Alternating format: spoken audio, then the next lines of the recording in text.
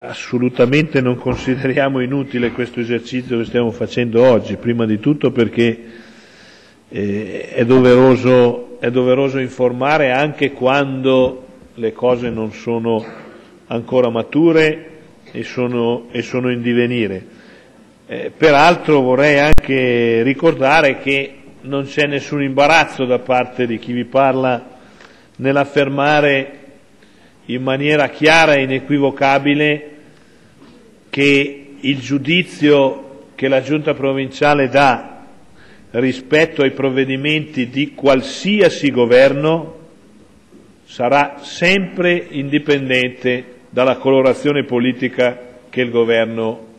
ha nel momento in cui fa quei provvedimenti. Lo sarà sempre e eh, questo mi sento di dirlo con riferimento alla Giunta provinciale di questa legislatura, ma mi sento anche di affermarlo, avendone fatto parte nella legislatura precedente, anche delle giunte provinciali, della Giunta provinciale della legislatura, della legislatura passata.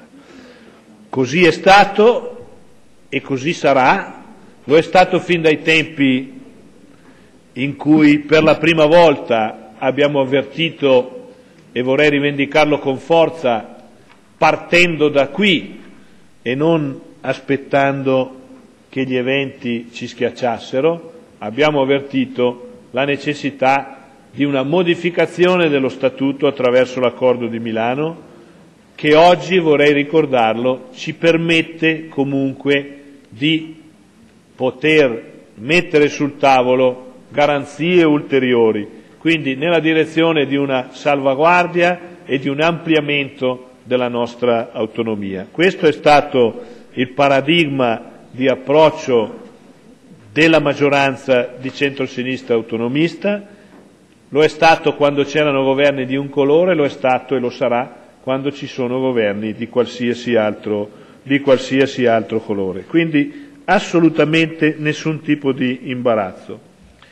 Certo, le sollecitazioni vanno raccolte e mi permetto di dire in relazione a quello che diceva il consigliere Fugatti che forse non siamo più davanti alla necessità di trovare delle vie di uscita, no? E forse lui stesso nell'usare questo termine può rendersi conto di che cosa intendo dire. È cambiato il mondo, cioè non possiamo più immaginare di chiamarci fuori, non possiamo più immaginare di difendere l'autonomia come l'abbiamo difesa per tanti anni in un contesto di finanza pubblica comunque crescente. Poi questa crescita ci ha portato al dissesto, evidentemente. Ma non possiamo più immaginare di difenderla in quel modo e quindi forse più che trovare una via di uscita stiamo cercando faticosamente, ma con grande determinazione e chiarezza di idee, di trovare una via di entrata più che una via di uscita e quindi di provare a essere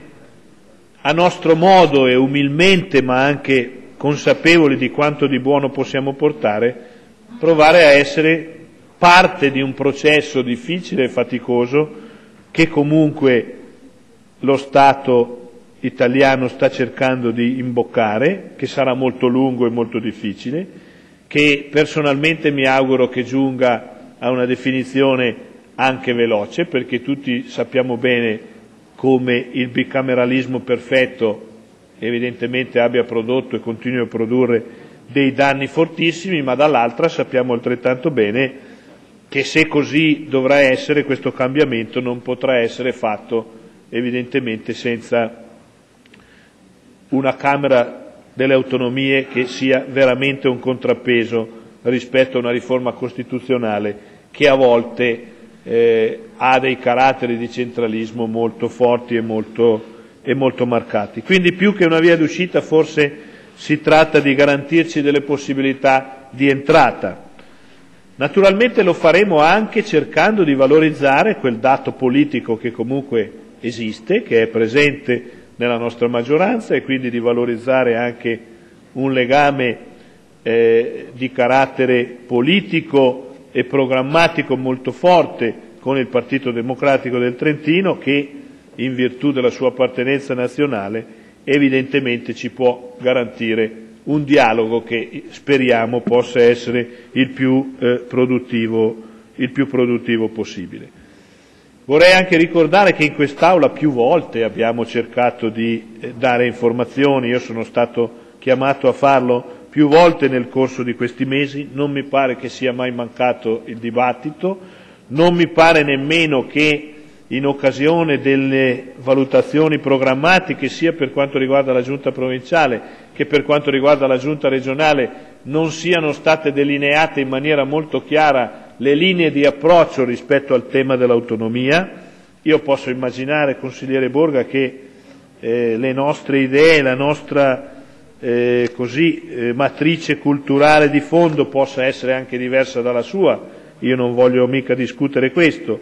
ma non mi sento di poter avvalare il fatto che non ci siano idee chiare rispetto a questo. Rispetto al terzo statuto, l'abbiamo detto, l'ho detto personalmente anche in quest'Aula in maniera molto chiara, è evidente che dobbiamo cercare di immaginare un nuovo assetto dell'autonomia, ma se lo dobbiamo affrontare dal punto di vista complessivo è assolutamente evidente che il momento storico ci consiglia una grandissima prudenza, e in questo sono d'accordo col consigliere Fugatti, in quanto potremmo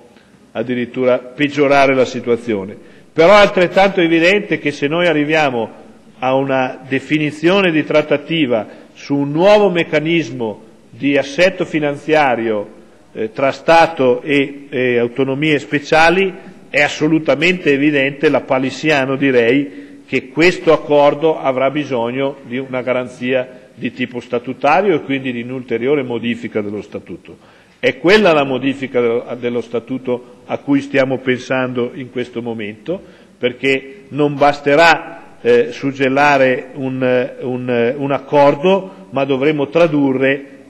il principio che questo accordo e quindi il metodo pattizio sia il metodo costante di rapporto fra Stato e province autonome. Sottolineo fra Stato e province autonome, che significa indipendentemente dal colore dal colore eh, del governo. Per quanto riguarda il tema della classe dirigente e del suo valore, certamente non sta a noi autogiudicarci. Vorrei ricordare però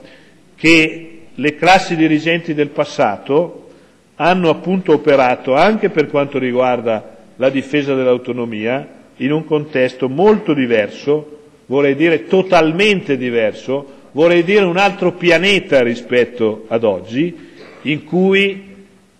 il dato crescente di finanza pubblica che poi ci ha portato al dissesto, di fatto ha mascherato per certi versi la capacità di guardare oltre rispetto al recinto nostro della nostra autonomia. E vedo che annuisce, ma lei sa bene come io mi riferisca alle classi dirigenti che hanno preceduto questo, questo quindicennio, nel quale, lo voglio rivendicare con forza anche da un punto di vista politico, nel quale invece è stata imboccata una via totalmente diversa, cioè la via della responsabilità, la via della partecipazione al risanamento della finanza pubblica, ma in una logica di pari dignità con lo Stato. E l'accordo di Milano significa esattamente tutto questo. Quindi quella via imboccata con l'accordo di Milano oggi noi la dobbiamo percorrere con ancora più velocità per garantirci appunto, e chiudo, non una via di uscita ma una possibilità di entrata e di protagonismo, pur nelle nostre piccole dimensioni,